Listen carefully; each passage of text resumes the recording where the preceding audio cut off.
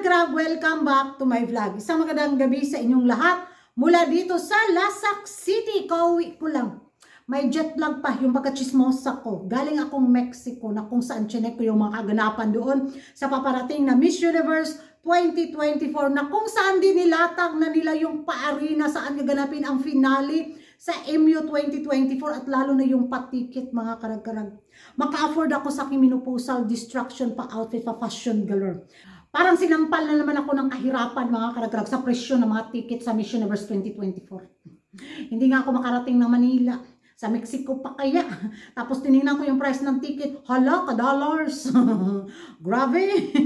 Di kaya day. nga nga. Ayun, timbahay ulit tayo sa taon na to sa Miss Universe 2024. Di nga makalipad na Manila Scorgan para, para manood ng panational pageant. Mexico pa kaya. Agay, kasakit sa bangs. dollars, dollars, i-convert mo sa piso. Ah, bakong taoy.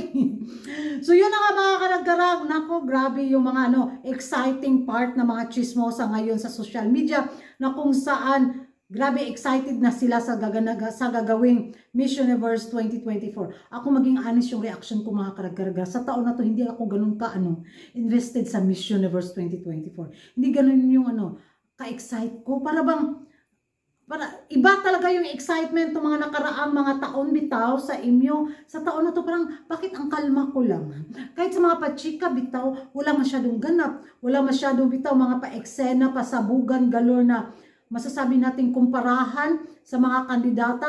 Hindi kagaya noon na grabe ang ingay ng mga fans, di ba? Kahit malayo pa ang Miss Universe pageant noon talagang push na push na pinag-uusapan sa taon na to mga karakarag kalmado ang trapiko ng ano no Miss Universe pageant ewan ko dahil siguro sa nangyaring resulta noon sa Miss Universe 2023 kaya ganun lang ka hindi ganun kalakas yung impact niya na pinag-uusapan talaga tapos sine-check yung mga bawat kandidatang lalaban sa taon na to wala parang kahit ako ewan ko siguro apektado pa rin ako sa nangyaring resulta noon sa laban ni Michelle D. At speaking of Michelle D, mga karag-karag na, mm, mm, mm, mm, da, gamit na gamit na naman ang pins.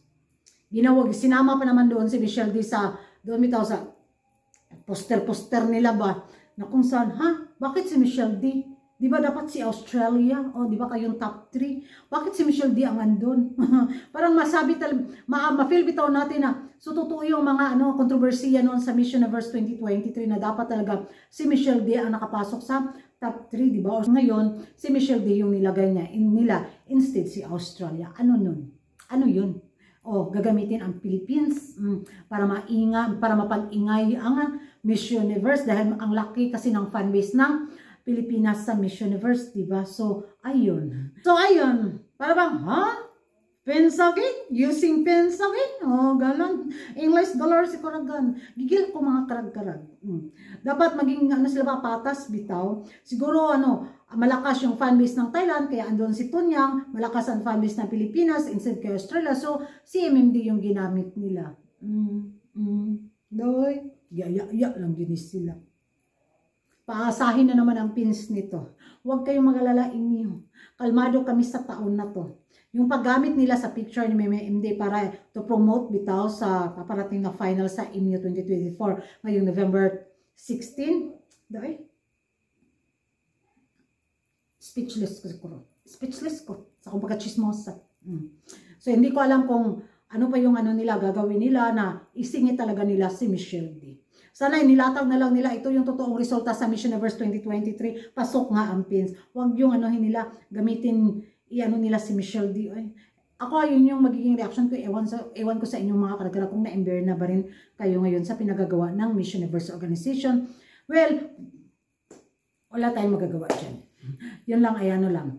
Mga chika ngayon na pinag-uusapan ng mga active na mga chismosa at napareact din. Si, napareact din ako ba na parang, oh, nga no, tama nga no, bakit si Michelle dapat si ano si Australia ang andyan, di ba? No question mark. At dahil question mark na mga karagkarag, ibigay ko sa inyo yung comment section kung ano yung magiging reaction ninyo sa ticket pricing ng Miss Universe 2024. At dito nga, si Michelle D yung nilagay nila instead si Australia.